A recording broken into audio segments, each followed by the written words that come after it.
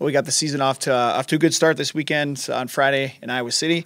Uh, it's it's one of those you know the first meet of the year you learn a lot about the new new people on the team they haven't had a chance to see in the purple and gold uh, get a chance to see how they work together as a team and so that's kind of the focus going in was to try to run as a team and kind of build on that a lot of new faces on both teams and so it was, uh, it was exciting to see those kids in the in the purple and gold for the first time, uh, representing UNI athletics. So uh, overall, I was really pleased with with how it went uh, on the women's side. Um, Gabby Champion was our top runner, uh, followed by Alyssa Williams and Gabby Skopek. Uh, always fun for Gabby Skopek to be down there. She's an Iowa City uh, grad, and so for her to be in her hometown was was a lot of fun for her.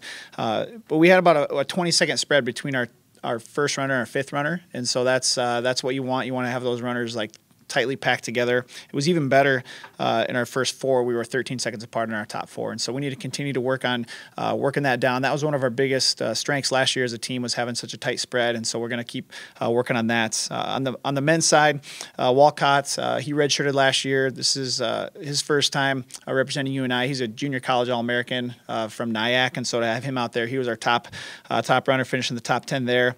then followed by Alex Jackson, who's a senior. And then we had a couple of freshmen, Sam McCool and Drake Hendricks.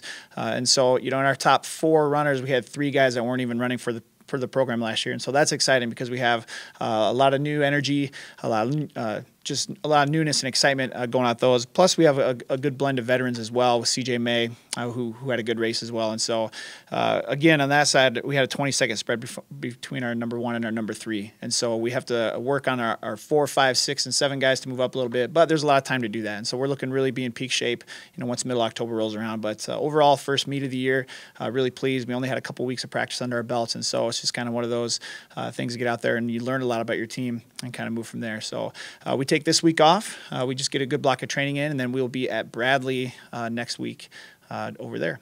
Uh, we get to go to Bradley. I mean, they host the regional meet and the conference meet. And so that's two meets that are automatically on the schedule to start with. Uh, and then we always go to their Bradley Classic meet, which is a really strong competition. Uh, and so we always like to go to that one. So that puts us there three times. And then the one we're going at next week, uh, it just kind of fit well with our schedule. It's it's um, you know you want to go on that every other week type of a type of a deal with cross country. It gives you a good block of training as you head in. Uh, it's hard to race week in and week out uh, just because you're running you know 8,000 meters on the men's side, 5,000 meters. So you want to have the ability to put a good block of training in, and so that meet just kind of fit well with our schedule. Uh, in years past, we kind of we'd gone to Notre Dame, but we felt like that meet was kind of um, not what we needed to get in this year, and so we we opted to kind of switch it around a little bit. But yeah, we'll be very familiar with Bradley, which is okay. I mean, they're they're picked to win both the men and the women's side, and so for us to get our kids around that team as many times as possible is going to be a good thing.